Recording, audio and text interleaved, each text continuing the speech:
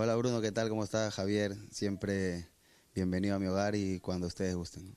Una, una fecha importantísima la que juegan este fin de semana. Les toca Ancash, eh, cancha complicada con un equipo que el año pasado supo lo que es jugar una, una final de segunda. No, no ha sido un buen comienzo para ellos, pero es una cancha complicada siempre.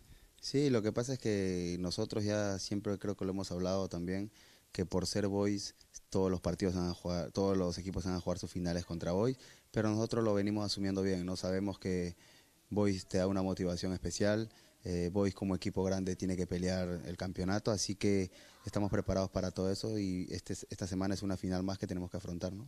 Que la, que la cancha esté en, tan buen estado, porque la hemos visto también en los partidos de primera división que ha jugado Rosario, eh, eh, ayuda por el, por el modelo de juego que está, que está buscando Boys, que busca el profe Viera, que la cancha esté así los ayuda. Sí, sí, la verdad que el profe no, nos trabaja para ir a proponer a cualquier cancha. Creo que lo demostramos cuando fuimos al Gallo, un lugar de altura, fuimos a Cusco, lo estábamos ganando hasta casi el final, pero eh, en todas las canchas nosotros vamos a ir a afrontar de la misma manera los partidos, ¿no? Por, como te digo, por, por ser boys nada más, tenemos que ir a afrontarlo así como equipo grande, ¿no?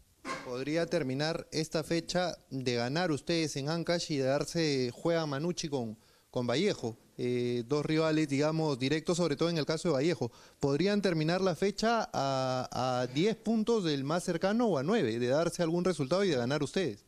Sí, sí, la verdad que nosotros nos preocupamos por lo que hacemos nosotros, eh, gracias a Dios hoy en día dependemos de nosotros, yo creo que como grupo estamos mentalizados en lo que queremos, no mirando hacia atrás, así que miramos, como te digo, lo que hacemos nosotros, los rivales son difíciles, respetamos a todos los rivales como tales, así que lo que hagan los demás a nosotros no nos importa. ¿no?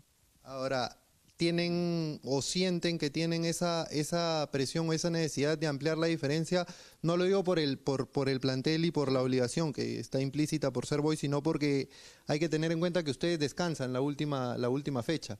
O sea, si nos proyectamos a fin de año, el campeonato lo tienen que asegurar en la fecha 29, por la última ya no juegan.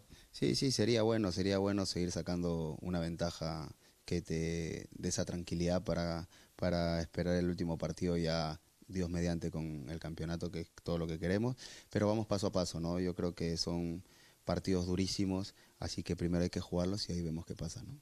¿Cuál ha, cuál ha sido la